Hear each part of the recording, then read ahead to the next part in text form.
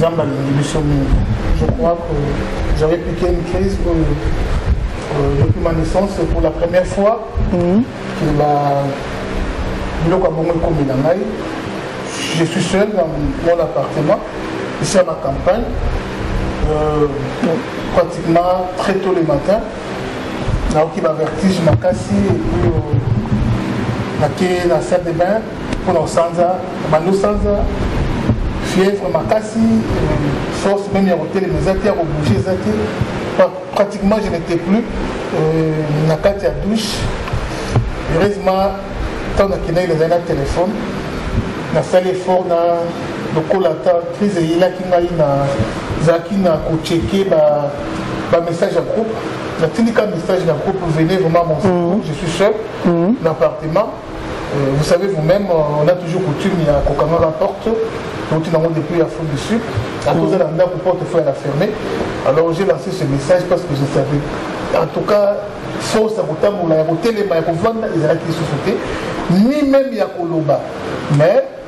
Gloire au Seigneur, j'en profite pour en plus seulement merci d'abord dans Zambé,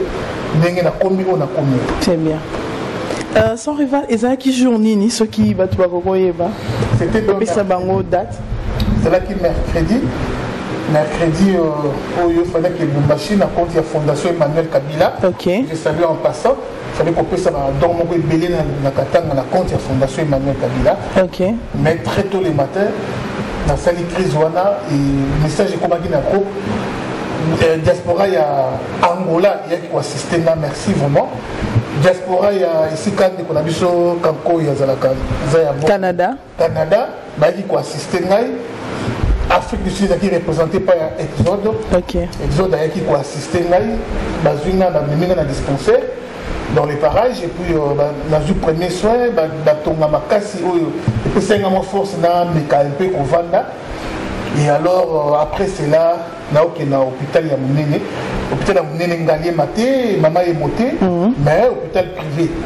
hôpital privé et c'est là qu'on a pris soin de moi dieu aimant et dieu voulant j'avais trois médecins qui m'ont consulté ya liboso oyo ya dispensaire ya awa dans les parages ya mibale ezali docteur privé ya misato et puis ezali docteur na ngai l'afrique du sud malade bien que malade naye kobenga ye confiance mingi nde na docteur na ngai afrique du sud makasi ayebisi ngai comment tu te sens na expliqué yabi kende sasa examen ya boye ya boye ya boye ya boye kende esala examen ya foi batalo foi batalo boye batalo boye c'était un peu ça et puis j'ai oublié ntango nazali kosanza et après il y avait chaque seconde ba ok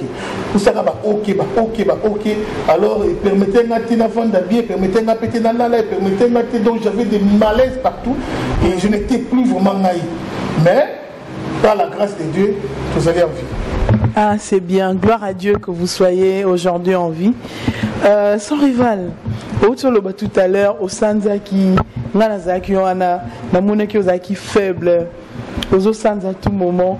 et puis ba rumeur déjà comment ko courir pendant que tozali ba appel kuto na ndo yamba je me rappelle bato mosusu baotuna déjà mais poison ngo nana tieli ye poison ngo alia ngo wapi sans rival alie poison wapi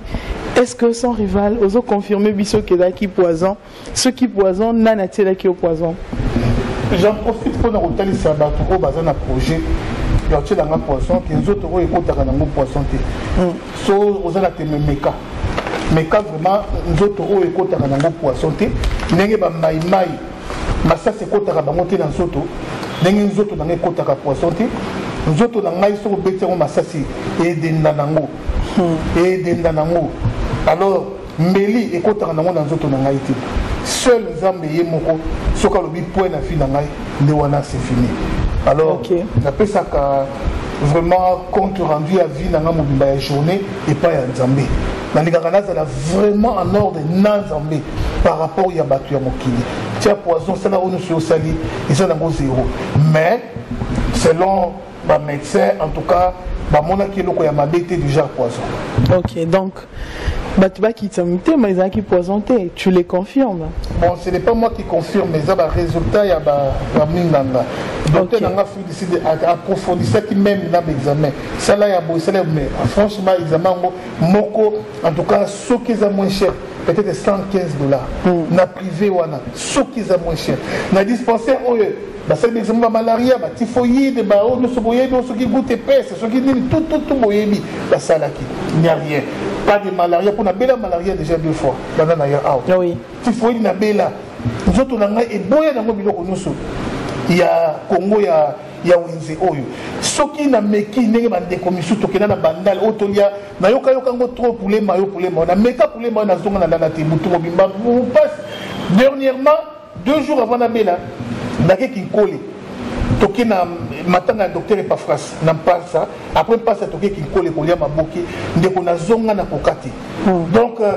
plus mingi kaka biloko balimentation biloko balimentation alors ça me coûte un peu trop cher ni difficulté makasi nazalaka nango yango wana tout ce qui est mpe mwa cité oyo oh, baye eh, bato nyonso basombaka entre autres mai donc euh, mai kutu na parlons pas des fois même bamai misusu oyo oh, ekoma kopona bamai oyo ya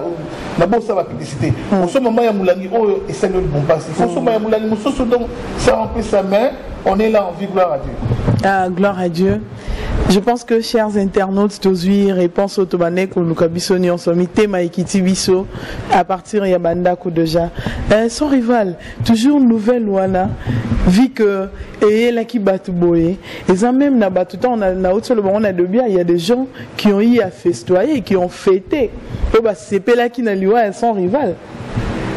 parmi lequel nazoloba ke eza na bato bauti ofinga wana bareseau sociaux je pense que olandaki yango eza eso ndeko eso na boketu bauti oloba n'importe quoi genre sans rival maladie wana okoselaki yango misu balobi eza souci mpo félix abwakisi yo est ce que sans rival ezalaki maladie ya lokuta eza quelque chose monte de toute pièce mpo na yo moko ou bien ndenge bango bazokanisa ke félix abwakisi yo susi wana yango nde esalaki yo bongo toyebi te explike nanu bosolo eza nasala publicité maladi te ce qui a fait ke ezwa ampleur na réseau sociaux ezali nazalaki na groupe whatsapp ya udps extérieur okay. r nasali crise wana nakoki kolukaluka banimero ya bato te na préféré nasalaka audio eh, nasalaka voice que je suis boye boye boye sante eza bien te boya koassiste nga c'est par là que à partir ya groupe ya udps extérieur nde panzani aye eh, bandeko baye tout en étant malade ndenge esengaki mwa photo mpo bato misu ya idps esengeli ba confirmer que sans nouvelle ye tozali na hôpital hmm. c'est ce que la photo a été prise mpona otina na groupe ya udps extérieur que non sans nouvelle tozali na hôpital alors ndenge epanzani moi même j'étais étonné mais mpasi makasi parce que quelques jours plus tard tout en étant convalescent nameki kocheke facebook namoni boketu na eso bafingi nga basali oyo basali balobi bakoloba hmm. bandeko toza bandeko d'abord za na papa moko komona ekongo c'est ça nga en aucun jour nakoswete liwa ya boketio en aucun jour nakoswete liwa ya eso en aucun jour nakoswete liwa ya motu moko oyo lelo topartage na idéologie politique moko te tant que tobundaka tozalaki esika moko souvenir wana nakoki kobosana yango te mpo lelo nakende kosote malheur ya moto jamais de ma vie boketshu ntango toyaki boketshu asali oyo asali abengaki ngai abengaki mpe ndeko mosusu pour ke akita na congo président fati a rassurer sécurité et puis a supporter séjour na ye na billet na ye na ba quelque chose je le confirme et le reconfirme ça c'est quand vous êtes arrivé à Kinshasa na Beatrice Hotel ok Boketsu m'a appelé il a encore appelé ndeko mosusu mpe ya diaspora mais lokola na beatrice totoya komonana o diaspora canada états-unis bo soki vosalema kombo ya bato na mitu na nga nayebi te vraiment il a appelé quelqu'un d'autre car wana que non pardon bo assurer vraiment bobo tout ça j'ai même voulu hein, kozwa téléphone a passé frère ya président mm. ça doit être je ne sais pas roger ou jean jean jacques nayebi vraiment bakombo bien te wana na béatrice hôtel béatrice pendant que lui t'appelait moto mona interdit nga napesa téléphone epa na yabi boketsu c'est qui oyo biso nyonso toye awa Ba assurer securite na biso ou bien ba pesi biso ba millions po tokita na Congo po kaka Boketshu nde faut ba pesi ba millions po ye akita na na Kinshasa et puis asala alobaka zo se dit Fatshi. Sœur wana apekisi nga na nameka koyebisa famille ya président te. C'est mm. ainsi que na stoppaki yango mais na ezaki les amis de Wetshi. Cyprien Wetshi nayebisaki yango na nini alors bandeko elle na apprendre ke boketshu bakangi ye na makambo moise mbiye na réagi na bino non napesi 48 heures na moise mbiye ah balibere boketshu hmm. bandeko ozo tisekelisi basilikela ngai mais ça rive comment quelqu'un qui insulte le chef de l'état qui insulte notre leader qui insulte notre mouvement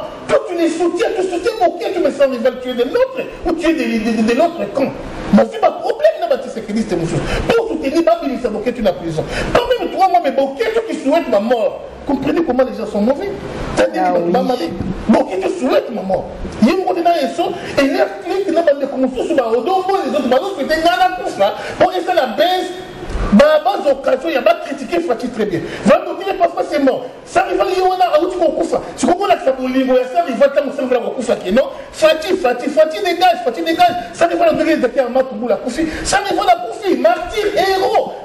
naza vivant boswete liwa na ngai nakufa bozwa so ya bana na ngai bozwa so ya famille na ngai tala niveau motema mabe ya bakongole tokomi nango niveau biso na biso bacongolais mais tozo souhaite motu akufa vraimen akufa po yo osepela yo boketu bandeko tokosama te boketu na pas fait le combat lokola ya sans rival boketu asali combat na ye ya business boketu asali business asalaka business boketu asalaka combat te bato ebele bacomprenaka mabe po congolais abosanaka makambo facilement boketu ete euh, saisi la main dans le sac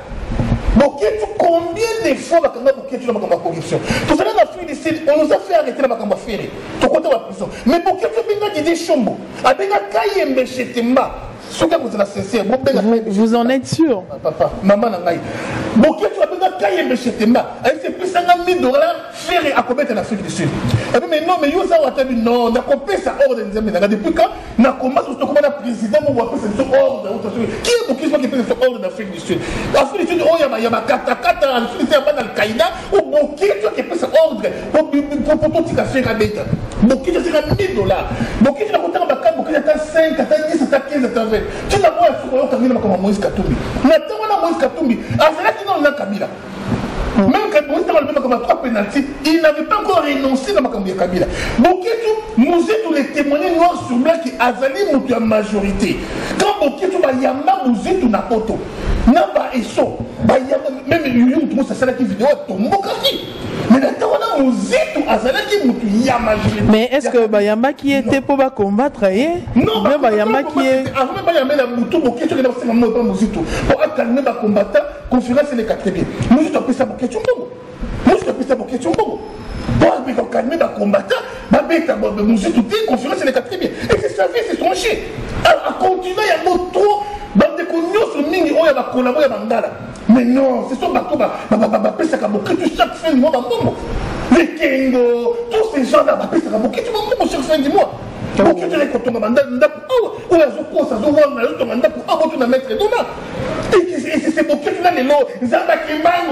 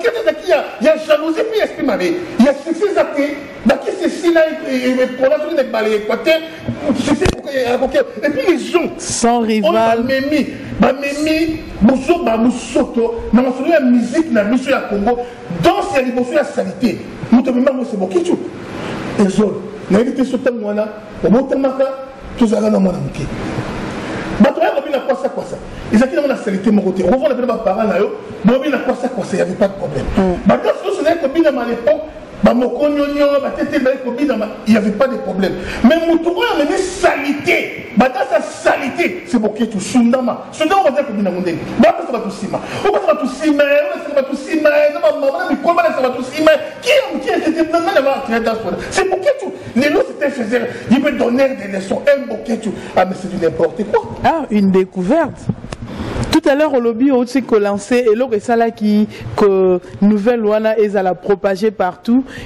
qui message oyo euh, qui na groupe a idps extérieur voilà je vais en profiter vous poser une question par rapport à ça avez-vous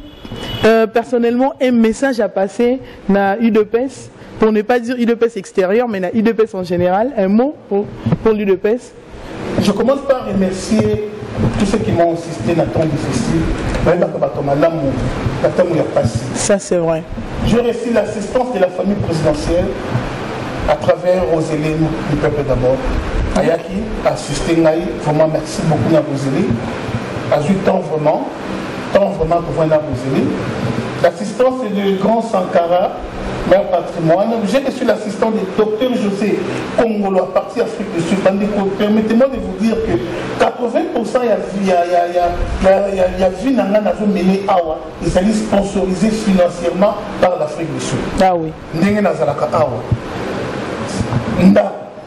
Tout c'est sponsorisé par l'Afrique du Sud.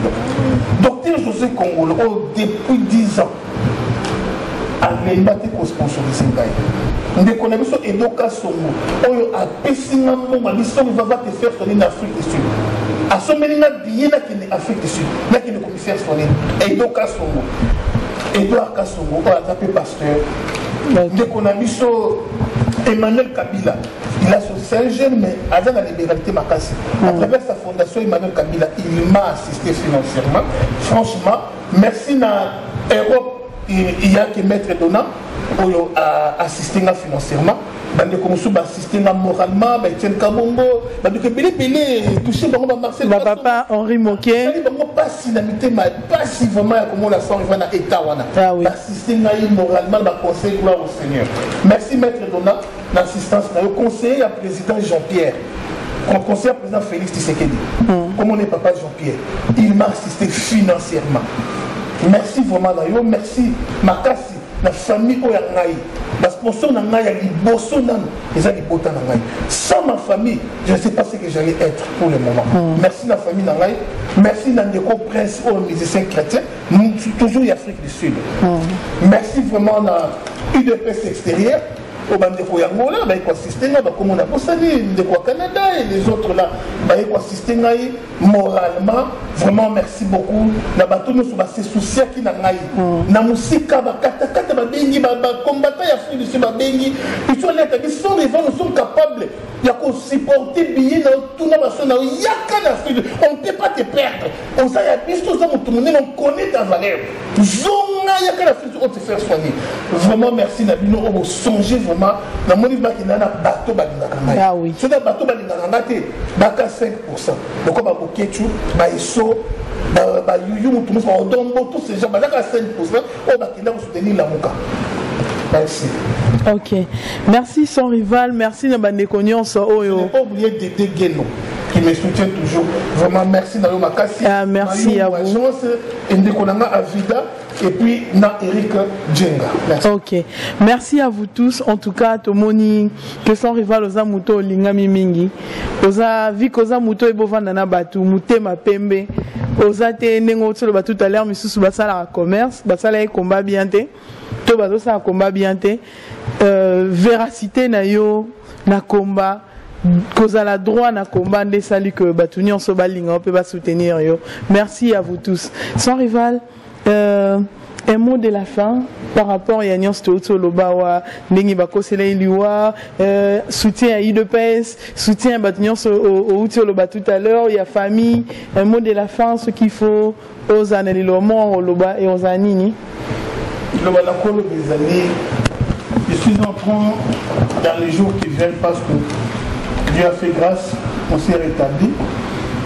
dans 2 3 4 jour na kobanda déjà un petit documentaire du genre magazine sous les fatismes vous savez on a parlé de mobutisme ememi biso na bêtise mhm. courant ya lumumba lumbisme on a parlé de tisekedisme qui est incarné plus par le vieux étienne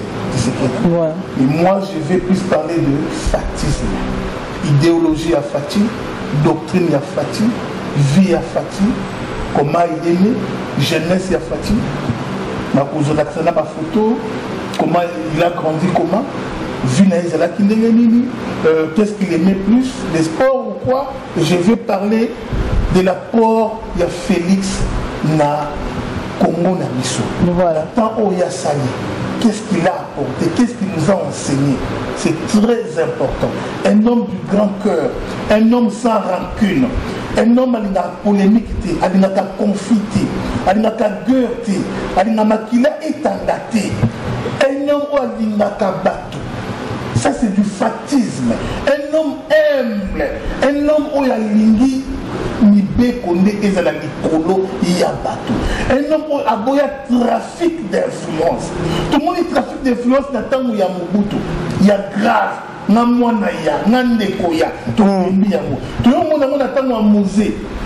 tolembi yango tokomona yango na ntango ya petio ya rwandais tolembi yango oyo zoe aleki aza donc yo oza nani otelema liboso ya zoe onani otelema liboso ya janete eloko te alors fatisme bandeko na ngai c'est difficile omona o kingani tisekeli na mopanzi boye kingani tisekeli na mopanzi boye donc un homme oyo vraiment aye kochanger mboka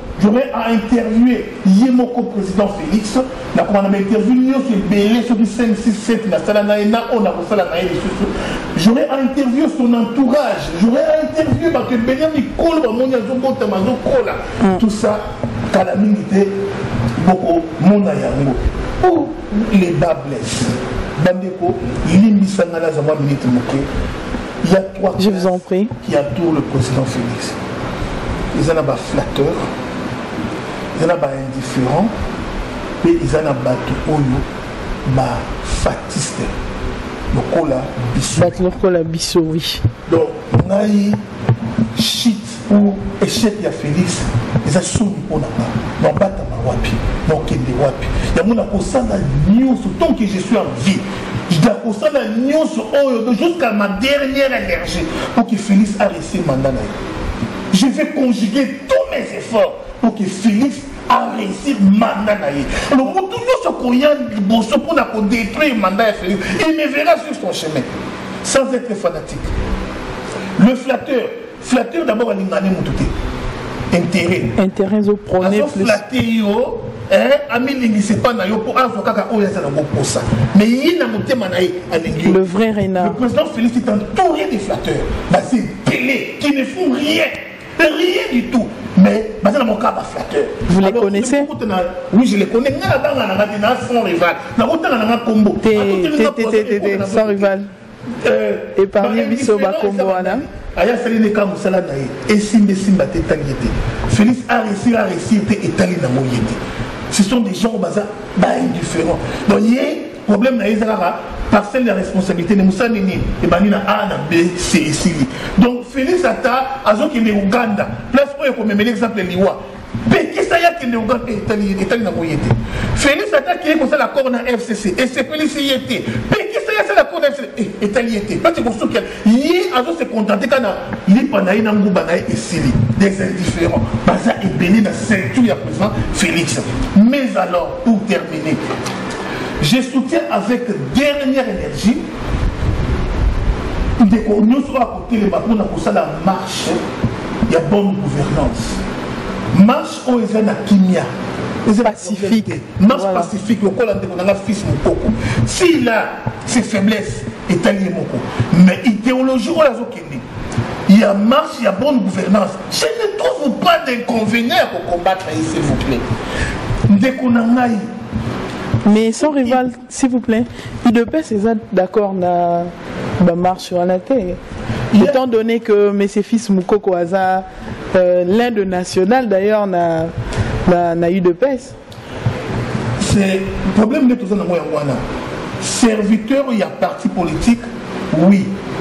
combattant idps membre idps na combattant ya nation combattant ya mboka ndenge biso tozalaki partout oyo oyebiki bacombattant babondelaka mboka na cadre wana na titre wana oyo ya intérêt ya mboka fils mokoko na pator na intérêt ya parti il faut otosa mibeko ya parti mais na intérêt ya mboka na yo po mibeko ya parti soki esali alliance na satana il faut tosa mibeko wana parce que eza mibeko ya parti esali alliance na satana mais soki eza intérêt ya mboka oza na droit ya koboya ba biloko wana antivaleur alors comme moi jusqu'à mon dernier souffle je ne soutiendrai jamais Jamais, jamais cette histoire de FCC. Na kosutenaka yango jamais de ma vie. Bato babomi, basuli, basi babengaka sango na vandi namoni ntango emwamba. Namoni ba Jeannette bazwi baoduma, bazwi bango susu ba mikonzi, bango susu ba ministre, kaka bango oyo bagere mabe, oyo bamemi so mboka na se, bamemi so mboka vraimenka ke ndeko nanga peut-être eza bato mosusu bakufela bato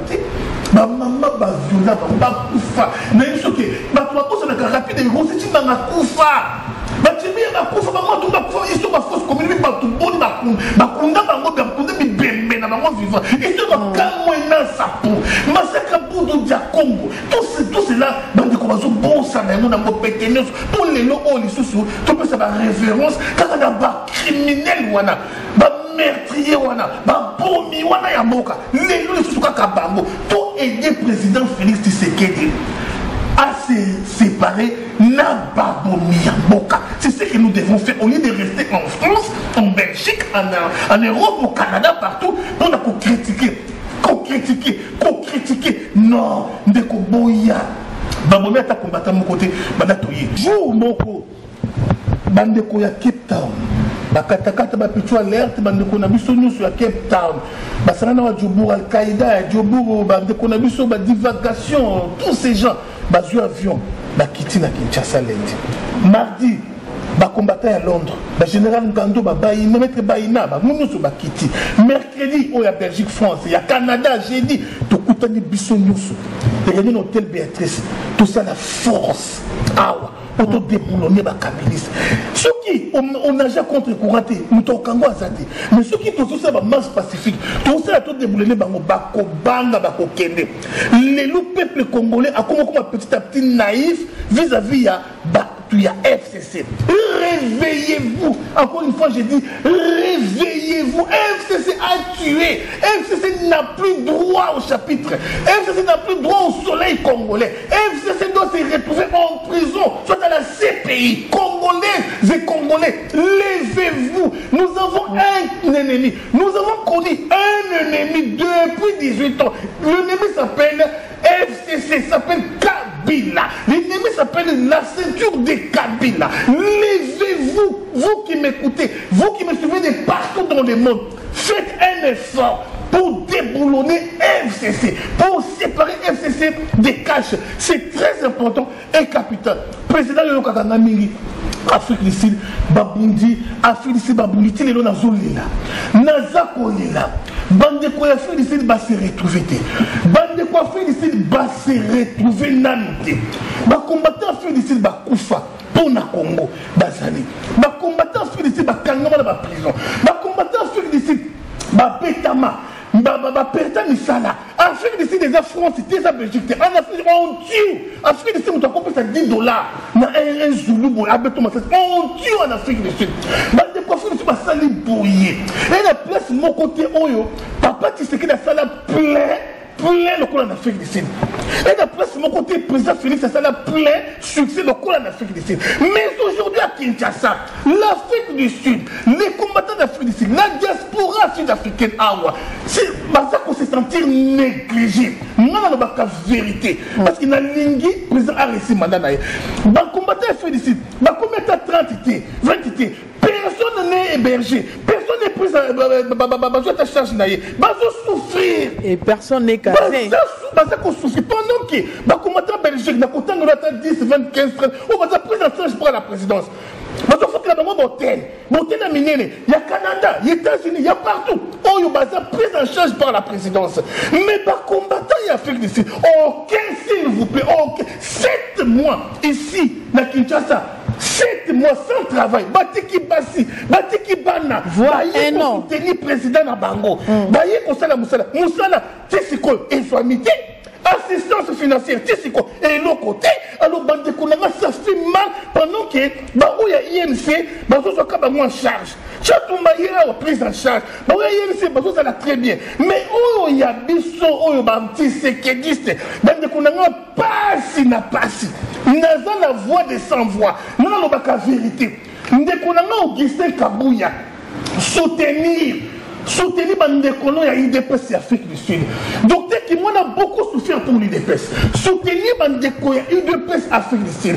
respecter mpe honorer bacombattant mpe ba udps extérieur c'est très important basala effort makasi basoutenir na mbongo mpo na idps des années des années basuki na idps na mbongo basuki na idps na makambo ebele lelo oyo ils ont aussi droit au gâteau ah ils ont aussi droit au chapitre s'il vous plaît bo respecter bango bo soigner bango c'est très capital je suis contre contre à 100% bandeko oyo bazokende libanda ya respect ya mibeko ya idps mais ndeko augustin kabuya mela mai please reviens sur tes pas vraiment bozwa soin ya bandeko ya afrique du sud merci exode mpo na temps oyo kitoko opesi ngai merci à vous merci à vous mpo na disponibilité na yo merci ndenge ondingi koyamba biso epuis osala barévélation oyo meme bajeune ya matipisha na lubumbashi bazonena bato wana banyoko donc bato ya liboso basinza kabila boye kabila rwandais ezonga na bajeune ya matipisha bakombate depesi ya lubumbashi ya matipisha babamba ye mabanga babamba kabila mabanga pour la première fois s'il vous plaît non lelo oyo bazwi pouvoir motu na bango basonaka azwi pouvoir base retrouver quand même c'est important alors ole base retrouver soki 43 poste nyonso na fcc ah, président faci pesaka mibeko fcc kata bango message tolingi mingi ezala ya paix sans rival oui merci je pense que bato nyonso balandi bayoki basepeli eloko ezalaki très important ezalaki souci oyo ezalaki lié par rapport étant état je vais dire euh, ya santé na yo mitema ya bato ekiti tosepeli et puis voilà na bacombattant nyonso oyo totikali na libanda Tozala totia glace na motema. Et je n'ai pas oublié le peuple qu'on appelle les Babindi. Peuple wana Babindi, va porter soutien à bango makasi epa na ngai. Vraiment merci vraiment. Okay. Merci encore une fois na Babindi ya Lukibu. Merci à na nyoso oyo bosali. On est toujours ensemble, on est toujours unis. L'homme qu'il faut la place qu'il faut. Ce qui vraiment moto alingi président félix alingi sisa président félix parce que idéologie eza ya état de droit Il faut l'homme lokola Andre Mbata na ministère ya justice